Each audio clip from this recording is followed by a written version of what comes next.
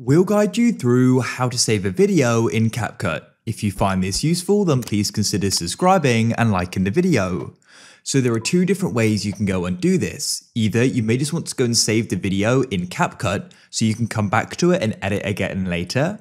To do that, it's really simple. All you need to do is go and press the cross in the top left. That'll go and close it and go and save it.